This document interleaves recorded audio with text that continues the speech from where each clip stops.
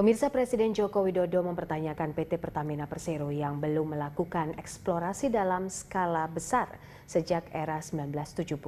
Dalam sambutan konvensi dan pameran tahunan ke-42 Asosiasi Petroleum Indonesia atau IPA Convex 2018, Jokowi mengungkapkan industri minyak dan gas merupakan salah satu sektor paling terkenal dan elit sebagai perusahaan plat merah yang bergerak di bidang minyak, Presiden menyinggung kinerja PT Pertamina yang eksplorasinya tergolong kecil.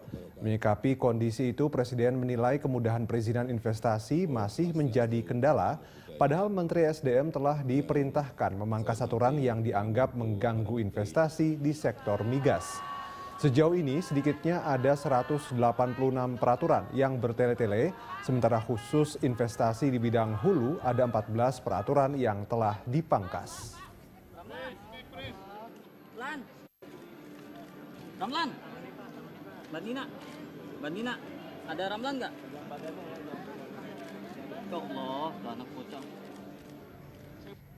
Loh kalau saya melihat melihat begini loh, melihat ini kok apa eksplorasi tidak semakin naik kok semakin turun. Ini mesti ada apa-apanya. Oleh sebab itu saya perintahkan untuk menyederhanakan